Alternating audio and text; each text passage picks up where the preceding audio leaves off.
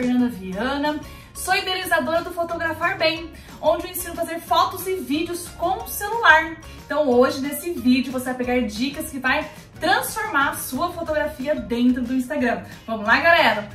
Eu vou passar dicas agora, podem parecer simples, mas essencial para uma foto de qualidade. Segura aí nas dicas. Primeira delas é iluminação, gente.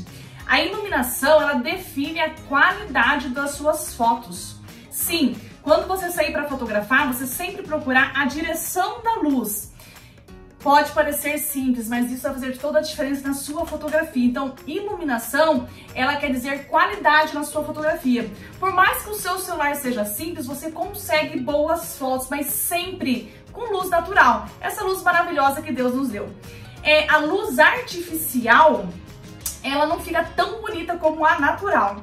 Então, gente, aproveite essa luz do dia para fazer fotos durante o dia. Se você for próximo a uma janela da sua casa, na hora que tiver a iluminação de frente, faça um teste, é perfeito. Até algumas, se você tem alguma olheira, alguma cicatrizinha no rosto que você queira esconder, essa luz de frente ajuda muito, tá bom? Eu vou mostrar para vocês depois da prática, no final desse vídeo, alguns resultados de luz de frente, luz atrás, para você ver a diferença do que eu estou falando. Mas independente de qualquer situação, antes de tirar uma foto, para ter uma boa foto, limpe a lente do celular. Isso vai dar nitidez na sua fotografia. Essa foi a segunda dica. Terceira dica, ângulos, explorar os diversos ângulos. Sim, tem ângulo que deixa você maior, tem ângulo que deixa você menor, tem ângulo que diminui a sua papadinha, tem ângulo que o seu nariz fica menor. Então você explorar os ângulos diferentes quando você for fazer um selfie, você colocar para cima, para baixo, na altura, para um lado. Você não pode tirar uma ou duas fotos e desistir. Eu mesma, com 12 anos de fotografia, faço de 20, 30, 40, dependendo da foto que eu queira, para escolher uma, duas ou três.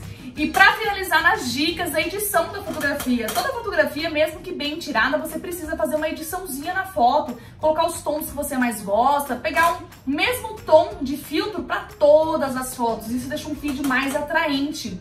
É, e só antes de finalizar aqui nas dicas, bom, você vai fazer o tratamento. É interessante, se você gosta de fotos mais quentes, que todas as suas fotos tenham um tom mais quente. Se você gosta de tons mais azulados, que todas as suas fotos tenham um tom mais azulado. Essa harmonia de cores no feed faz toda a diferença. E para finalizar aqui esse vídeo para você, quais são as cores que mais chamam a atenção dentro do Instagram? Você quer ter um Instagram atraente? Então foca nessa dica porque essa aqui é matadora. Vamos lá.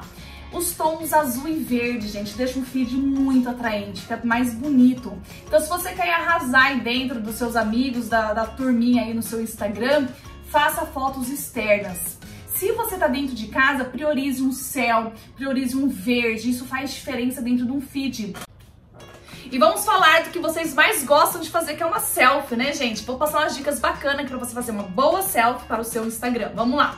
Selfie é uma foto que você tira de você mesma, não necessariamente segurando com a mão. Você pode deixar o celular em cima de uma mesa, colocar num temporizador de até 10 segundos, dependendo do seu celular. Você coloca e ele faz a foto sozinha. Você brinca com o cabelo, brinca com os braços e faz a foto, tá? Você não precisa, selfie não é só aquela que segura com a mão.